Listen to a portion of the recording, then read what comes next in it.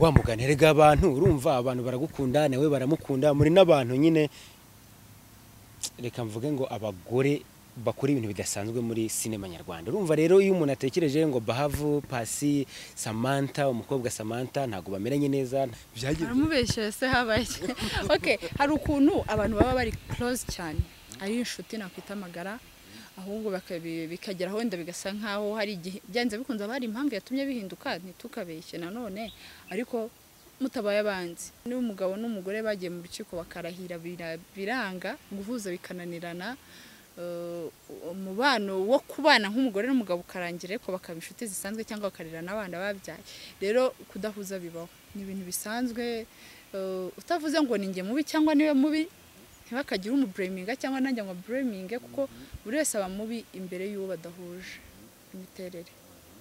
Ikintu uko ucyumva iyo nkumvishe nkumva atari ko nkembera mpita numva wowe icyo utekereza atari byo.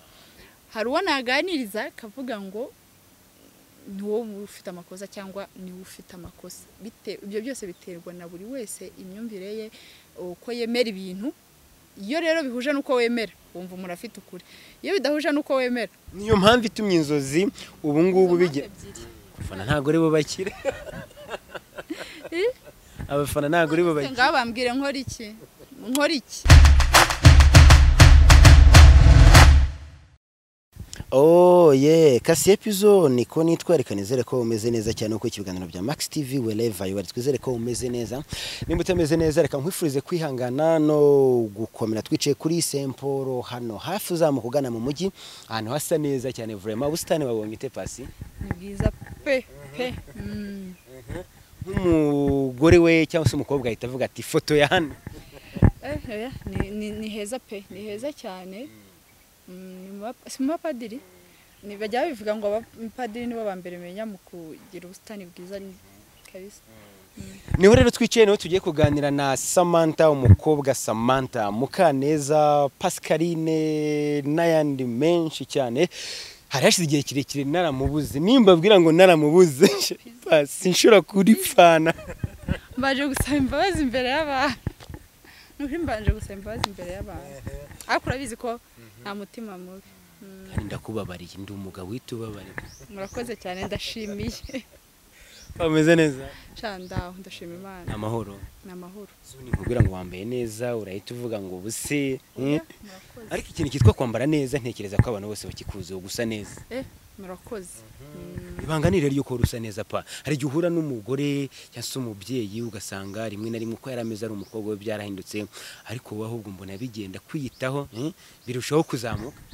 Eh, eh, hari igihe umuntu agerayo akumva nta yabonye umugabo nta wundi akeneye umu- umureba ukibagirwa ko uwo mugabo yamu- yamukunze kuko yasaga neza. Ukeneye guhora ubwo buri munsi uko mumenyerana abona uri mushya abona uri mushya kugira ngo urwa rukundo rukomeze rwiyongere. Hari n'abandi igihe batareba komenti ukavuga ngo ugasanga nk'umuntu aravuze ati ariko uyu nguyu ntabwo amenya ko yakuze ntabwo amenya ko yashatse kubera ko babona ari kwiyitaho agasatsi keza agakweto kagezweho eh.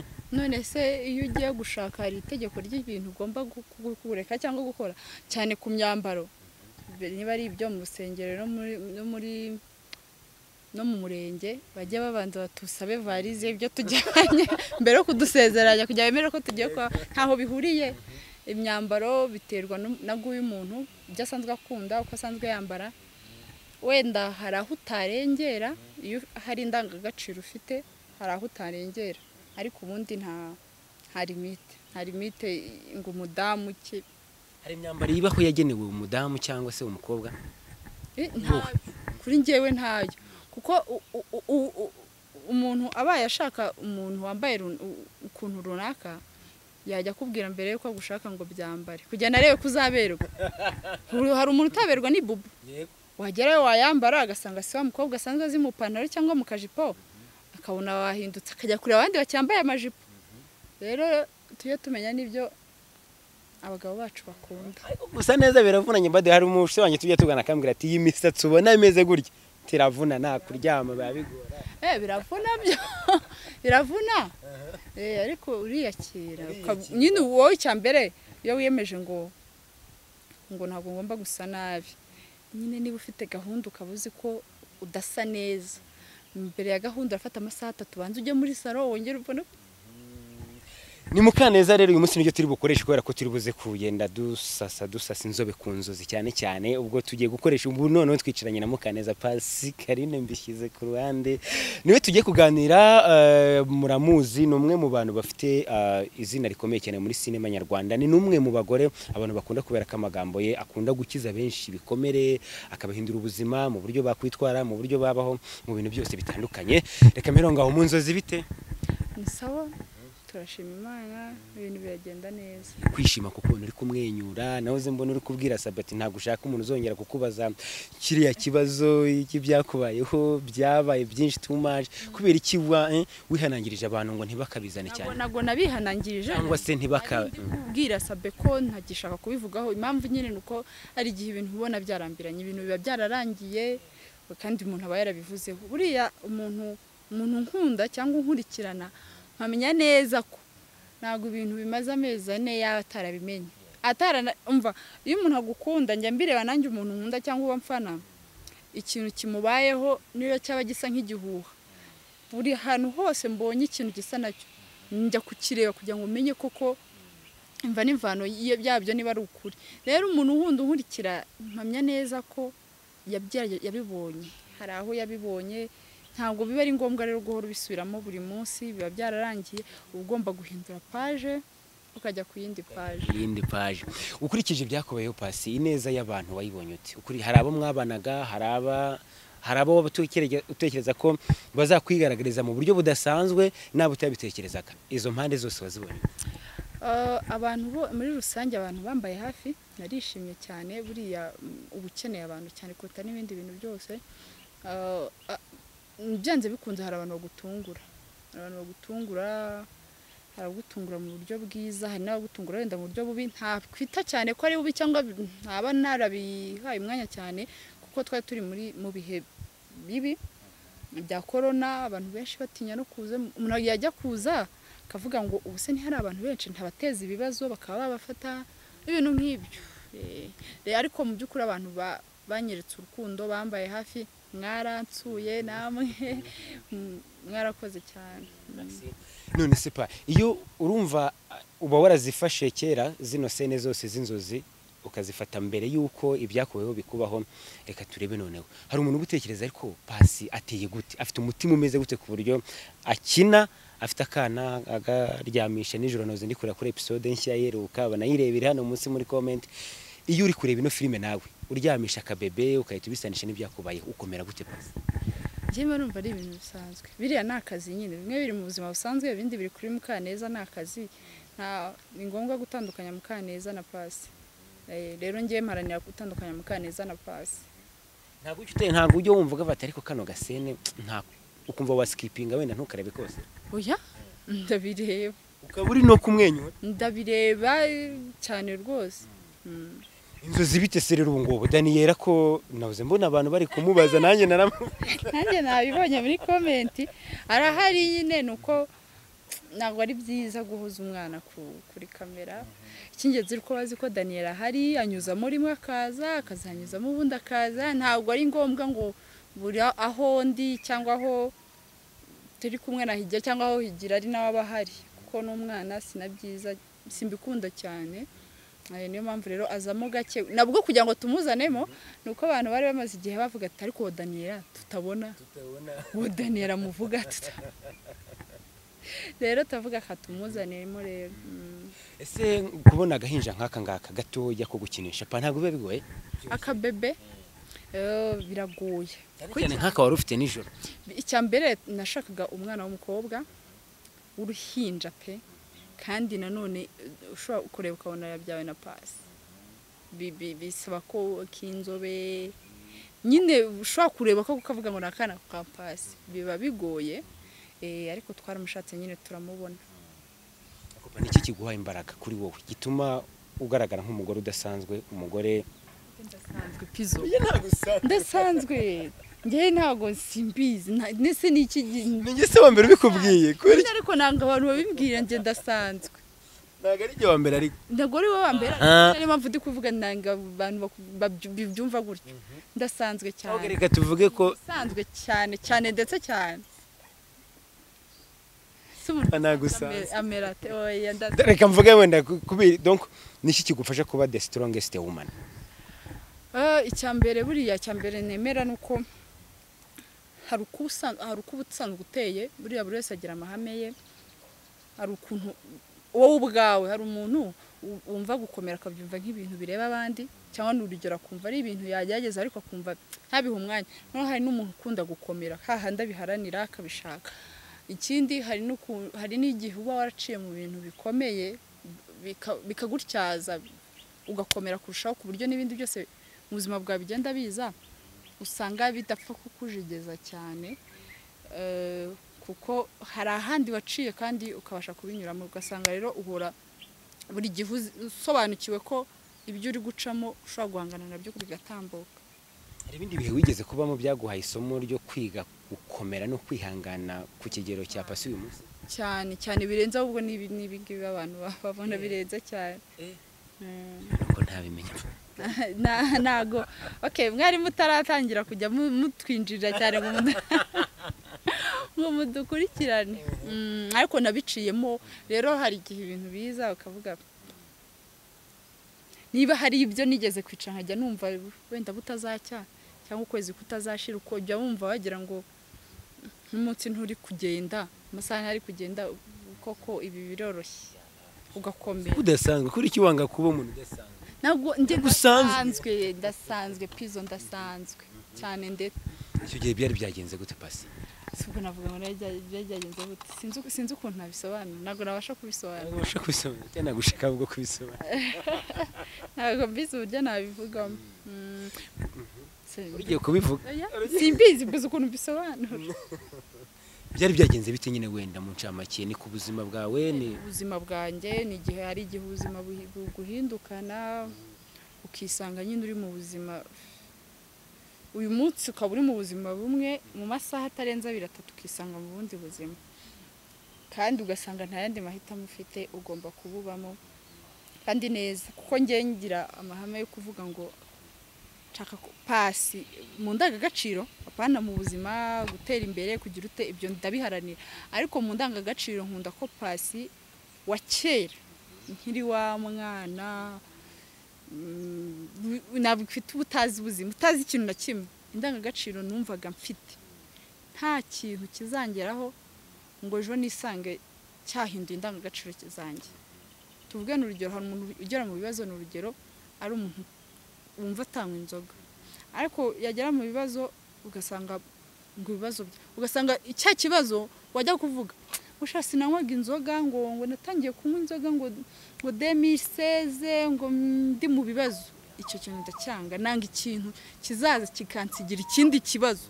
Nkunda ngo icyo kibazo kize mpanganira cyo cyonyine kinagenda gisige nta kindi kibazo kinsigaje kigisigaje mu nzira yanjye. Hahandi nkibona nk'amateka sinsigarane ikindi kibazo ndwana na cyo ibintu byose ngo byarananiye rega byaje kubera ikibazo. Ibintu byose ngo kubera ikibazo. Utangiye kwitwaza ikibazo nyamara wari ufite uburenganzira bwo kuba icyo kibazo wakireka kikazatambuka cyonyine. Rero ibyo bintu niko meze. Nkunda ngo nimfata icyemezo cyo guhindura ikintu cyanjye ngihindure kuko njye mbishaka. Nta ikindi kintu. Atari ikigare atari inshuti ata- ata- atari. Ari njyewe ubyibyutse nkabyiyumvamo nkabifatira umwanzuro kuko nta nubwo ibyo bintu byicuza. Ariko ibintu wakoze kubera impamvu runaka kubera umuntu runaka ejo urabyicuza. Nakubwira ngo rero ntabwo uri umuntu usanzwe ugahita uvuga ngo pizo Ndasanzwe. ahubwo buriya ni umurongo uba warashizeho kuba kuba ibihe biza ntibiguhindure pa. Niki kibigushoboza? Ibihe ntibiguhindure ukaguma kuba wapasi n'ubundi abantu bamenye mu gihe cy'uwa mbere. Kuba icyamamare ntibiguhindure ibibazo ntibiguhindure. Hari umuntu runaka nawe uri muri ubwo buzima. Hari ibiri kumugora hari uwo fame iri kugora ibintu nk'ibyo. Wowe? Eh, nyine ni byo nkubwira. Nkunda kuba njye. Nkunda kuba njye ku buryo umuntu unzi iyi saha niyicara n'umuntu twiganye primaire akamuganiriza pasi.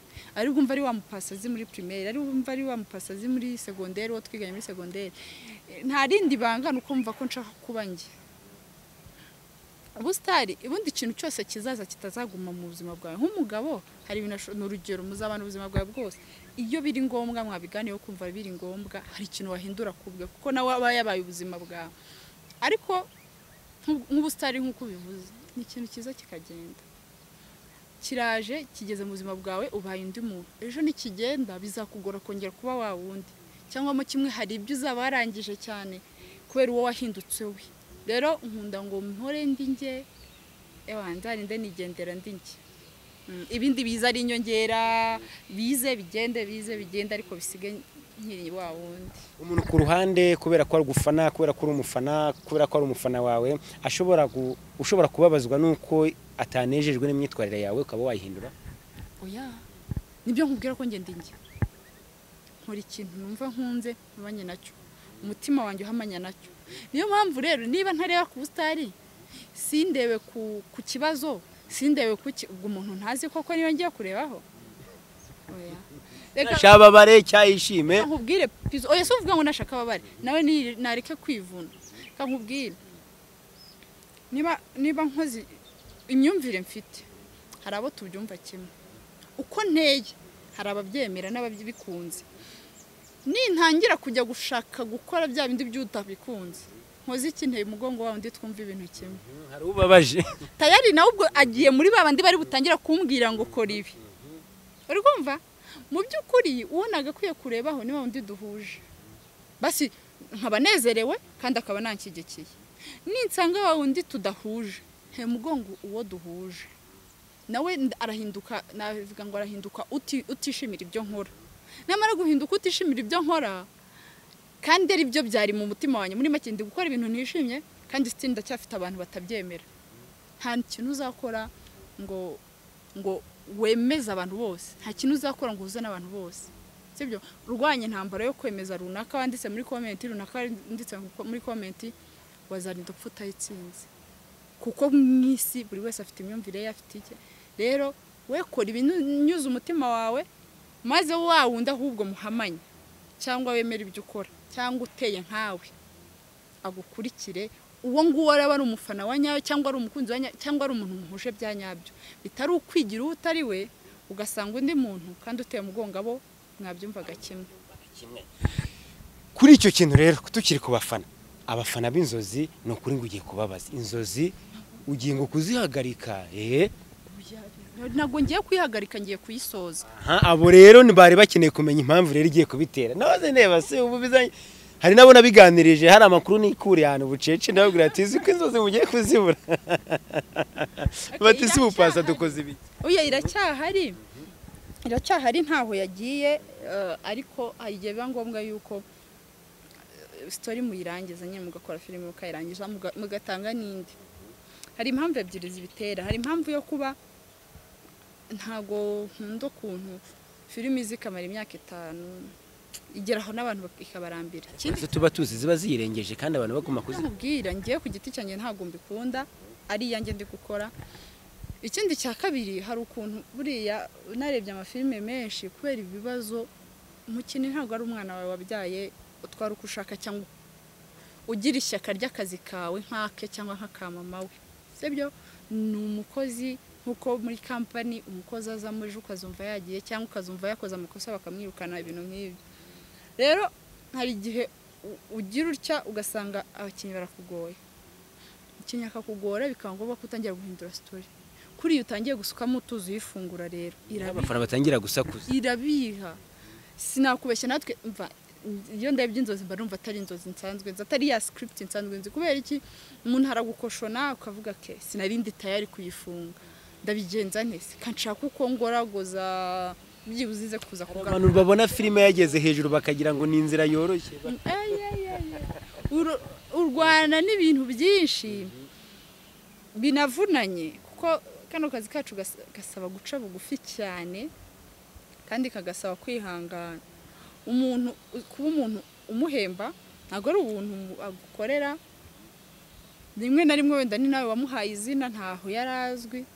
Ariko ejo akagutenguka ukamupfukamira ukamwinginga ugatakamba. N'ubikageraho wenda bikananga. Sitori ukayihindura kubera umuntu. Wese pizo wayihindura kangahe? Ihinduye rimwe kabiri gatatu. Ni hahandi umuntu ashobora kureba filime? Muri season ya mbere iya kabiri byagera mbere gatatu agatangira ku- kuvuga se indi natangiye cyangwa hinjiremo indi filime sinabimenya. Kuko story yaratakaye abakinnyi baramutengushye twese bitubaho nk'abaproducer. Ariko njye nahise twahise dufata icyemezo turavuga ati okay katuyisoze aho kugira ngo story ipfe ahubwo dufate izindi ngamba zizatuma story zacu zitazongera kuzajya zipfa gutyo. Niyo mpamvu itumye inzozi ubu ngubu ebyiri. kugira ngo tubahe indi story no kubera ko yari imaze abakinnyi bagiye badutenguha kenshi byari bimaze twari tumaze gusukamo utuzi kenshi. Abafana ntabwo ari bo bakire. Abafana ntabwo ari bo bakire. Ngaho bambwire nkora iki? Nkora iki? Nta muntu ntawe nabyaye mu bakina se ngende mutere iwabo ngo aze gukina? Akopiza ukuntu umuntu aguteje umutwe. Ntabyo Ndabizi. mu- ntabyo muzi kugira ngo umukinnyi umukinnyi mwandike story hari uwabinkoze ntabwo navuga uwo ari we ntamwicira izina kuko nawe afite ubuzima bwe. Ariko ugasanga umukinnyi mwanditse story season mwayirangije. Uramuhamagaye arakubwiye ngo nzaza muri iyi minsi mfite akazi kenshi nzajya mboneka muri weekend. Ariko kubera ukuntu dukora ibintu byinshi turabanza tugakora ubwo urumva we tukamubikira nka weekend. No tugakora byinshi. Mumaze gukora ibintu byinshi birebana nawe story mwarayikoze mumaze gushutinga nk'ibyumweru bibiri muri kuri tele kandi mu- mukora ibintu bi- bifite aho bihuriye nawe. Wenda runaka ngo yakoze ibi runaka yakoze ibi muri kumuvuga bya bindi byo wenda azabikina aho azabonekera ariko mwamukinnye mumuvuga neza akajya kukubwira ngo ntabwo nyibonetse. Sinzigera mboneka na rimwe. Mwarashutinze ibintu byose mumuvuga. Iyo shooting yose igahita iba imfabusa yagutwaye amafaranga yagutwaye umwanya wahembye abakinnyi mwariye mwanyweye. Byose. Ugasanga ntuse ndi bukuzanire ni urugero mbuze umuntu ndi butange kanitangeho urugero. Turi buzane sene bari kuvuga ngo mukaneza yabyaye kandi mukaneza atazakina sene yabyaye. Ntibishoboka. Muri bukene bavuga ngo twagiye kumusura kandi atazaga ngo sha wabonye ukuntu twamusuye yadusuzuguye kandi atazakina yabasuzuguye. Izo zose ziba imfabusa maze mugahita mujya muri script mukayisenya ku murongo mugahindura ah- mugahindura mugashaka uburyo muri bwongere guhuza bikarangira nyine muyifunguye. Ji uzarebe ji ifunguye urimo utuzi twinshi si ibiha? Niyo mpamvu twanze kubabihiriza turavuga ati basi katiyisoze itaraba utuzi tuzane inda ahubwo dufate izindi ngamba. Mm. kubera iki ibyo bitaguca intege ukumva wareka kuba producer w'amafilime ahubwo ukumva wafata indi option? Ni ukubera ko ntabwo ibisubizo byose biri mu isi nari nabirangiza ntabwo nari nabi imitima y'abantu mpaka. Urumva? Buri kibazo kiba gifite igisubizo. Niba ntaragerageza ibisubizo ibisubizo bi- bihora bihari. Sibyo basi ndagerageza ikindi wenda na cyo nubwo mvuga ngo ni izindi ngamba gishobora kuzananira nkagerageza ikindi nkagerageza ikindi. Gutsindwa ni amakosa. Ni amakosa. Ku nzozi washakaga guki- gu- gusa n'iyihe mitima y'abantu? Tagiti yawe ya mbere mbere y'uko bagutobera ugashaka kugenda hari n'ubundi ugerageza gushaka. Uburyo uri bubigereho nubwo biba byapfuyemo ukuntu ariko urabigerageza buri story y'umuntu hariya hari uwo yubaka. Bitewe n'uko n'uko ateye n'uri kubicamo muri ako kanya. Ubu rero ugiye kubaganisha hehe rero? Abantu babakundaga kuri mascom? Bazagumaho cyangwa mugiye kubajyana ahandi? Oya baza- bazagumaho. Ni- ni- nibiba ngombwa ntabwo turabitekereza neza ariko bibaye ngombwa tukabajyana ahandi twabibabwira ariko bazagumaho ariko tuzabahereza n'ibindi bikorwa. Filime yindi ugiye kubaha cyangwa ugiye kubaha ibindi bintu? Ni filime hari ibindi bintu nkora. none se na yo nibigenda gutyo pa ugitangira. Eh, ni byo nkubwira nyine ko nafashe ingamba. Nk'ubu nafashe icyemezo cy'uko ntabwo nzongera kujya kuri tele ntafite filime yose. Niba filime igomba kuba imeze gutya ari season ebyiri ndajya kuri tele zose nzifite s- script nyifite njye kuri tele nshaka mfata amezi abiri atatu njye kuri tele tuyikore irangire. Igitekerezo kirangira kirangire dushyiraho akadomo hahandi nyine tuba twarangije filime nawe uyireba ukabona irarangiye ariko nta gufungura uko story yanditse tuyikore irangire. Dutangiye kuyaporodinga ye byose byararangiye nta mukinnyi uzo- uzongera gukenera. Ahubwo wenda umukinnyi mwakoranye neza utarakugoye ukazamuhamagara mu yindi. Icya mbere bizafasha bizafasha gutanga sitori nyinshi. Niba sitori imwe ije ikamara tuvuge nk'amezi ane mu mwaka uz- uzabona sitori eshatu. Sibyo buriya na ni sitori eshatu? Mu mwaka tubahe sitori eshatu. Cyangwa enye. Nese eh, hari abantu banabikunda bakunda ngo filime ntimare umwaka nyine ayirebe irangire. Nawe wundi utarayirebye naza kuyitangira aba ari filime avuga ati nshobora gufata icyumweru nkayikurikirana nkaba ndayirangije nkayireba nkayirangiza. Ego ni izo ngamba nafashe. Abantu ubwo abantu bakundaga bya bintu bikurikirana abo wapi. baragiye cyakoza amezi menshi nane. Filime yanjye izajya imara amezi ane. Iba irarangiye nkora indi. Ubwo abantu bari bategereje ko bagiye kuyibura nka impanga ya mushuti wacu cyangwa se mugenzi wacu bahavu. Nabo barayibonye barayikunda barayikunda. Ubundi zari filime ebyiri inzozi y'impanga inzozi y'impanga baramubura.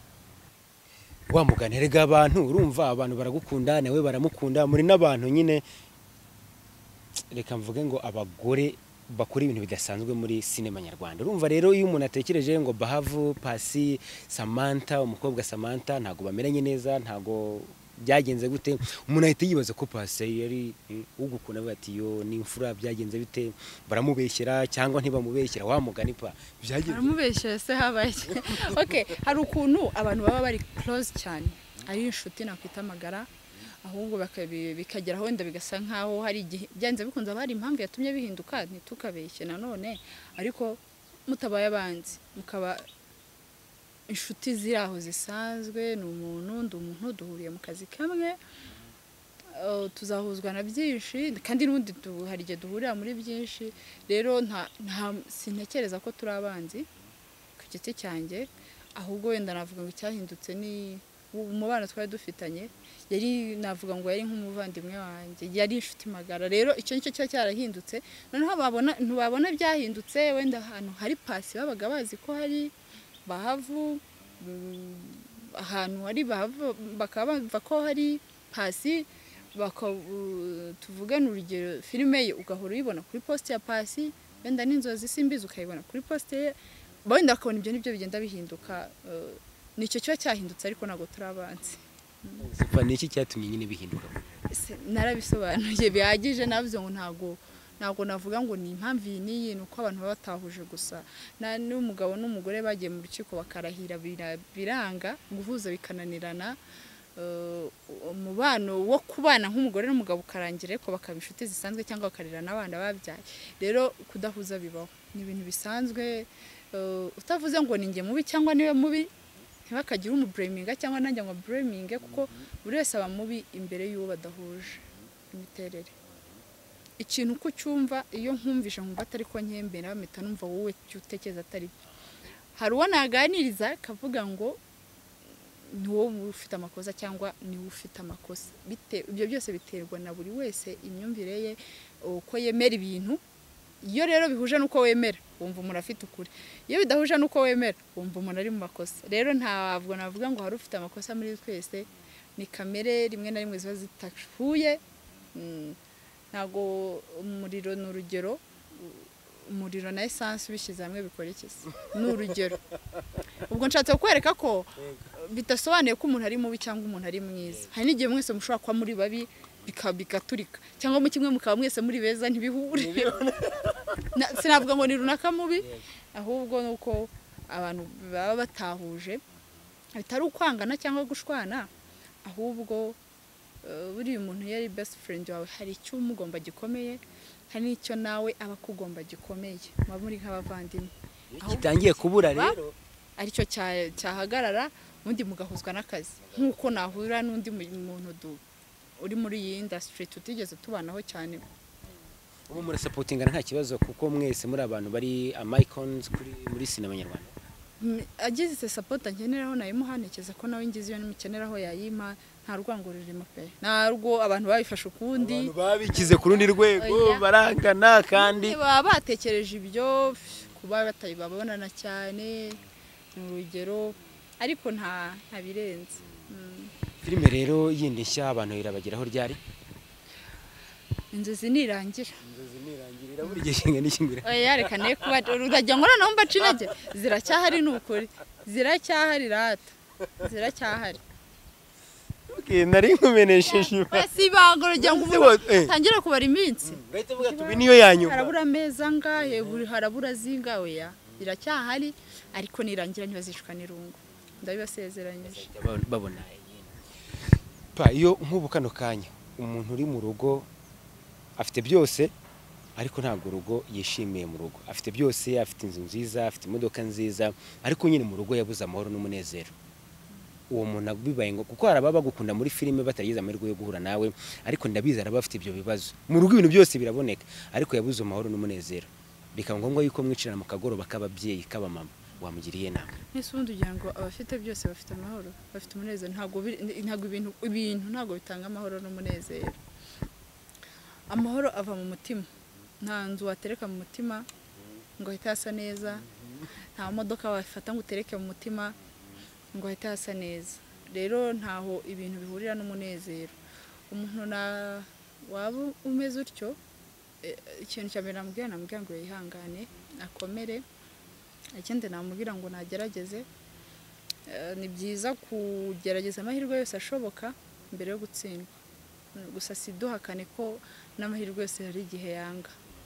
Nabanza nkamubwira gerageza plan a b c d akazageza kuri z. Ubwo z yanze nyine ubwo byaba byanze nta yindi choice yaba ihari. Yarekura ariko ku giti cye nta muntu na navuga ngo niyo nama ya mbere namugira nk'uko mbikubwira ikintu cya mbere ni ugukomera kwihangana kandi ukageza gushakira umuti ikibazo.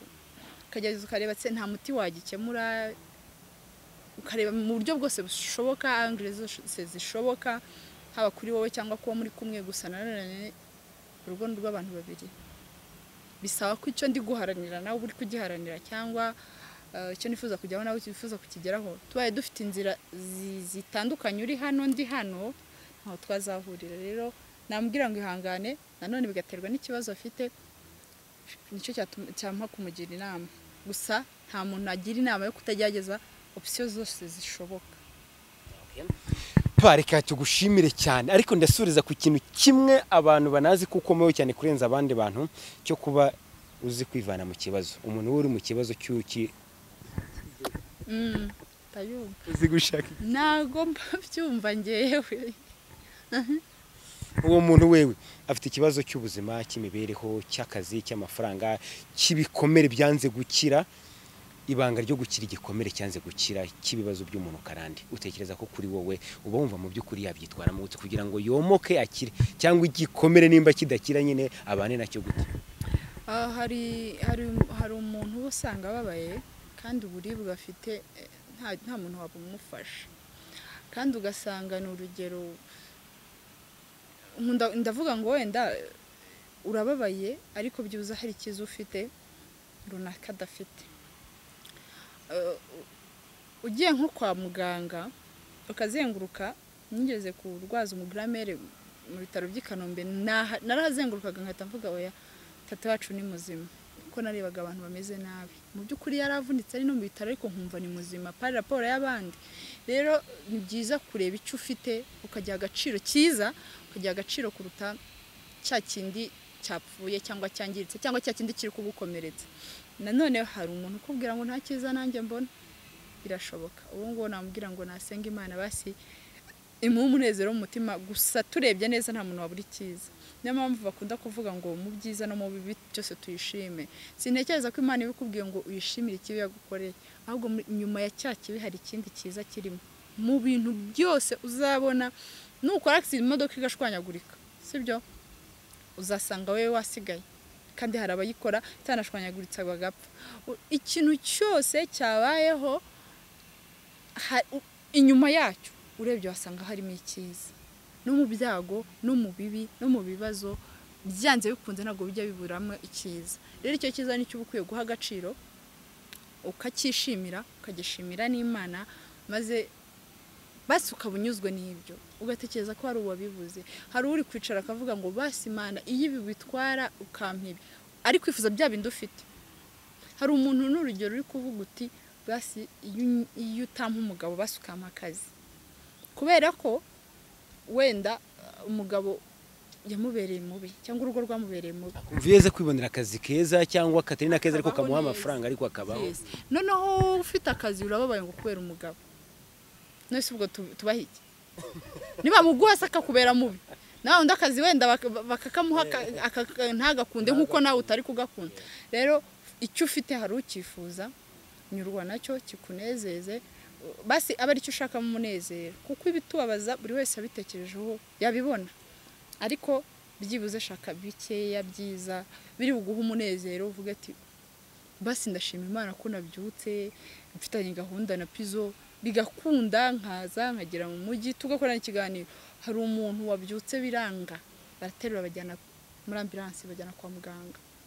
Hari uri gushiramo umwuka muri iyi saha ubundi abantu bose mu bibazo byose byose byose byose bibaho ko abantu bararutana. Hari ufite ibibazo bi- ntabwo nabyita bike kuko ikibazo kiba ari ikibazo ariko hari ubura kimwe hari n'uwitwa ko abura byose ariko aracyafite icyitwa umwuka. Hita wibuka ko hari abantu bamaze kurenzaho igitaka rusorori cyangwa i kanombe cyangwa hehe. Icyo cyonyine uvuga ngo mu bintu biri hano ku isi hari uwo nduta. Niba basi unabona byose nta na kimwe ufite. Ariko byibuze uracy- uracyanafite ubwenge bwo gutekereza ko ntacyo ufite. Uri udafite ubwo bwenge bwo gutekereza ko ntacyo afite. Mbese nta muntu uri muri koma umazemo igihe kirekire? Atanazi ngo mfite iki cyangwa mfite iki. Ntacyo mfite. Wowe kazi ugifite- ntabyo atekereza, uwo mugore nta- butekereza ngo nta kintu mfite. Basi icyo shimira icyo. Uvuga ngo niba ngifite ubwenge bubitekereza ndacyafite n'ubwenge bubishaka kandi ndacyafite n'amahirwe mu gihe cyose umuntu agihumeka aba akiri umukandida w'ibyiza. Nk'uko akiri umukandida w'ibibi. Ntaho twabicikira. Kandi ni byiza biba bizaza rero basi umva ko uri umukandida w'ibyiza igihe cyose akuka kataracika. Shapa nyuma y'ibi bintu nta kindi nabaza. Murakoze pizo reka tumushimire eh, mukaneza kwemera kuganira natwe bwagiye kubazana indi poroje mube mureba inzozi muyiribe muyirebe kandi ujye uyireba uyirangize utangire ku munota wa mbere. Kandi ba- banakore subscribe nyine tugire umuryango munini. Mm. ni ibyo ngibyo rero nizere ko mwaryowe n'ikiganiro. Of course kasi epizo that's my name kaboom.